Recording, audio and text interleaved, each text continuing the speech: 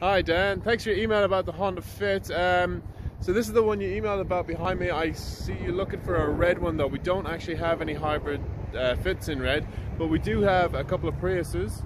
Uh, we have the Prius Alpha just over there behind me and further over here we have not one, not two, but three standard Priuses in red. So if you're really after a red hybrid, uh, we do have options for you. Uh, best to come down and have a look for yourself and um, yeah, you can take them for a drive and, and, see if it's right for you.